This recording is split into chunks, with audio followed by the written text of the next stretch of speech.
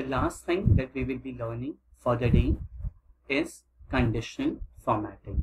Now basically what is conditional formatting?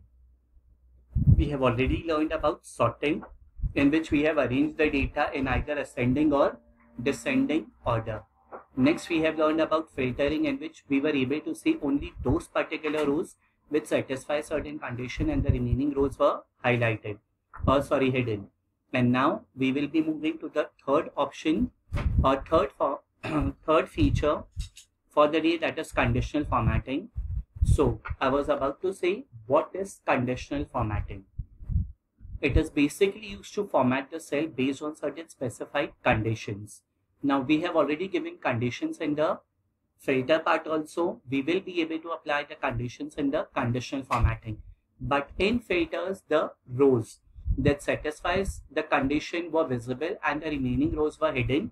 But over here in conditional formatting, we will be able to see entire table with the rows that satisfy certain condition or the cell that satisfy certain condition will be highlighted with different colors. Now, how to go ahead with it?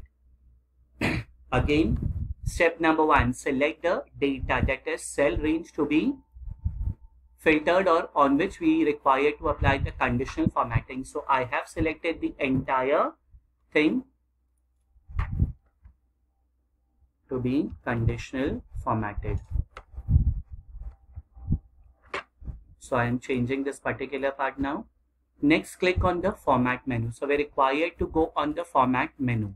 After clicking on the format menu, you will be able to see conditional formatting over there. So in format, I will be able to see conditional formatting.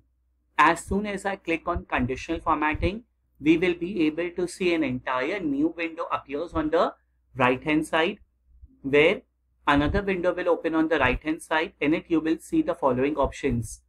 Apply to range. So first we are able to see the range. Yes, our range is G1 to G6 as you are able to see the same range we are able to see over here. The second option will be format rules. So as you are able to see format rules. Now over here there will be a drop down. I require to click on the drop down. Suppose now I require only those particular students who have secured less than 27, less than 30 marks. So what I will be doing, I will be going in, selecting the entire cell, cell value less than less than what? Less than the value 30 and you can give your own color over here whatever color you want. Suppose if i'm giving yellow color definitely you are able to see all the things that are less than 40 is also highlighted. Now you are able to see even the roll numbers are highlighted which we don't want. So what i require i require to only select the marks. After selecting the marks i will be going under formatting under formatting, you will be able to see conditional formatting. Under conditional formatting, again, you will be able to see the range of the cell. This time it is C1 to G6 less than less than 30 and you can give bold italics underline whatever format you require to give you can give those particular even we can select the font color i will be selecting the highlight color as yellow so you are able to see all those particular cells in which the marks are less than 30 is highlighted. Click on done, you will be able to see.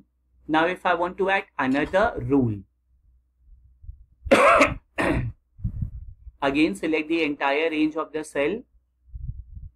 You will be able to see one condition is already applied over here that is value is less than 30. Add another rule. So add another rule it is greater than this sign. Suppose if it is greater than 40 or greater than 45. We are able to see 49, 48, 47 and if I want to change any other color, yes, I will be giving certain other color so that it is clearly visible to us and click on done. So in this manner, you are able to apply conditional formatting.